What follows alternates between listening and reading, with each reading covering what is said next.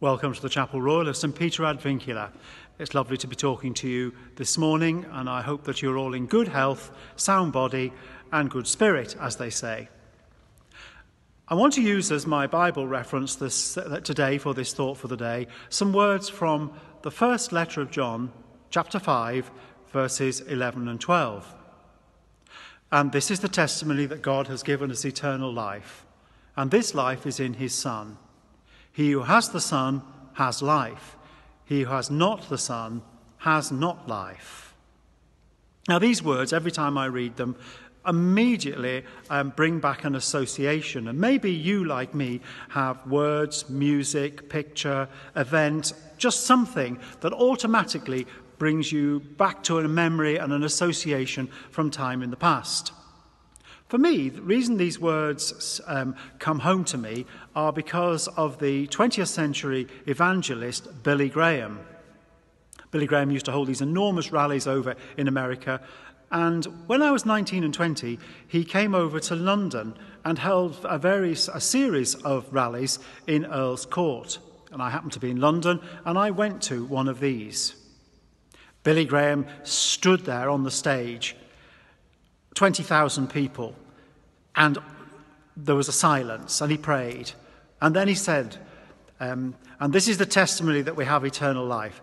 Those who have the Son have life, and those who have not the Son have not life. Silence. Billy Graham knew how to work a good audience. I mean, I have to say that. He was a past master and very skillful at that. And then he looked up and said, do you have the Son? Do you? Do you have the Son? And we all sort of, you know, jump back and there's this sort of quaking moment.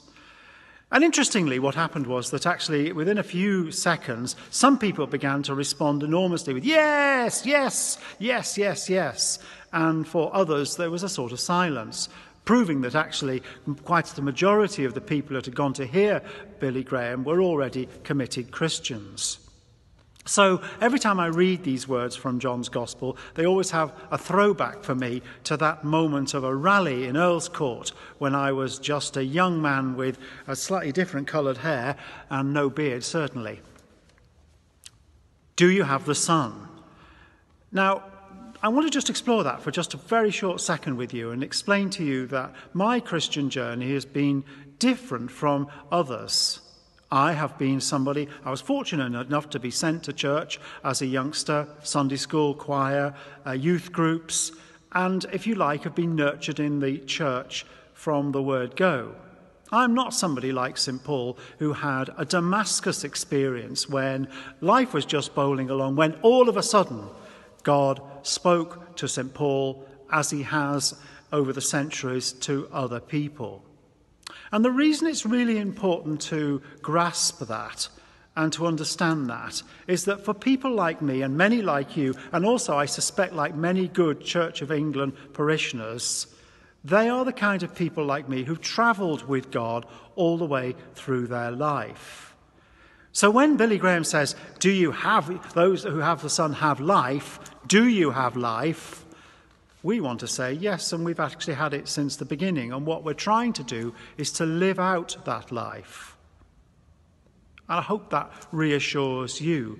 All this also comes about because of a conversation I had with somebody here at the Tower very recently who was feeling slightly guilty and not understanding the difference between the Damascus moment and the road that many of us have just travelled along from birth to wherever it will lead.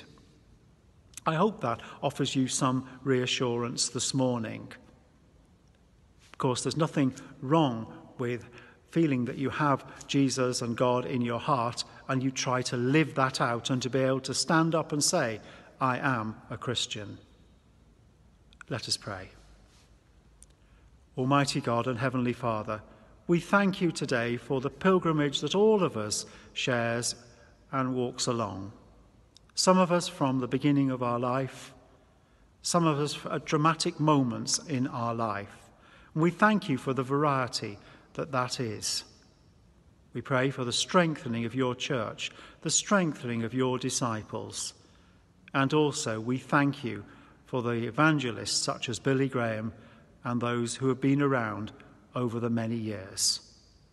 We ask this prayer through Jesus Christ our Lord. Amen.